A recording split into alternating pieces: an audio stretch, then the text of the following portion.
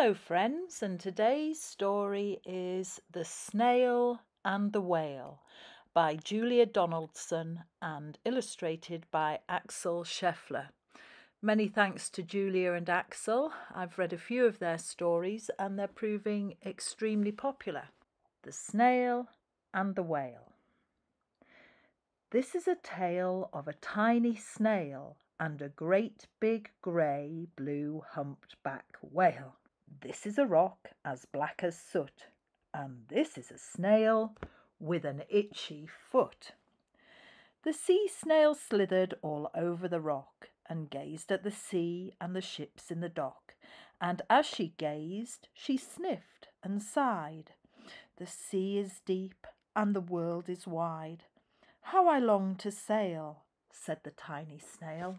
These are the other snails in the flock who all stuck tight to the smooth black rock, and said to the snail with the itchy foot, Be quiet, don't wriggle, stay still, stay put.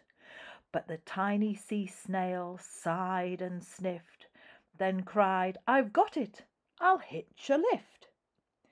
This is the trail of the tiny snail, a silvery trail that looped and curled and said, Lift wanted around the world.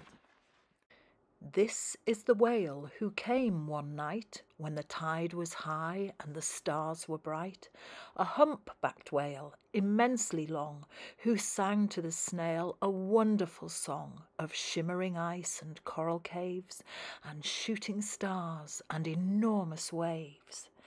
And this is the tale of the humpbacked whale. He held it out of the starlit sea and said to the snail, Come sail with me. This is the sea so wild and free that carried the whale and the snail on his tail to towering icebergs and far off lands with fiery mountains and golden sands. These are the waves that arched and crashed, that foamed and frolicked and sprayed and splashed the tiny snail on the tail of the whale. These are the caves beneath the waves, where the stripy fish with feathery fins and sharks with hideous toothy grins swam round the whale and the snail on his tail. This is the sky, so vast and high, sometimes sunny and blue and warm, sometimes filled with a thunderstorm, with zigzag lightning, flashing and frightening the tiny snail on the tail of the whale. And she gazed at the sky and the sea and the land, the waves and the caves and the golden sand. She gazed and gazed, amazed by it all, and she said to the whale, I feel so small. But then came the day the whale lost his way. These are the speedboats running a race, zigging and zooming all over the place, upsetting the whale with their ear splitting roar, making him swim too close to the shore. This is the tide slipping away. And this is the whale lying beached in a bay. Quick, off the sand, back to the sea, snide, cried the snail. I can't move on land, I'm too big, moaned the whale. The snail felt helpless and terribly small. Then, I've got it, she cried, and started to crawl. I must not fail, said the tiny snail.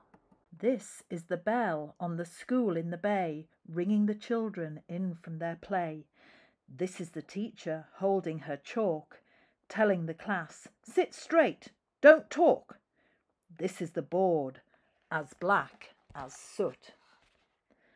And this is the snail with the itchy foot. A snail! A snail! The teacher turns pale.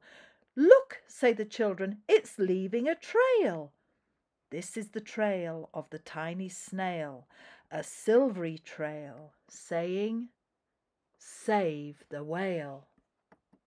These are the children running from school, fetching the firemen, digging a pool, squirting and spraying to keep the whale cool.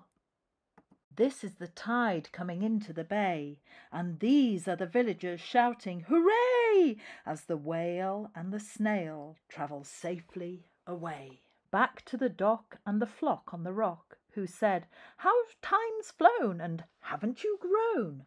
And the whale and the snail told their wonderful tale of shimmering ice and coral caves, and shooting stars and enormous waves, and of how the snail, so small and frail, with her looping, curling, silvery trail, saved the life of the humpbacked whale.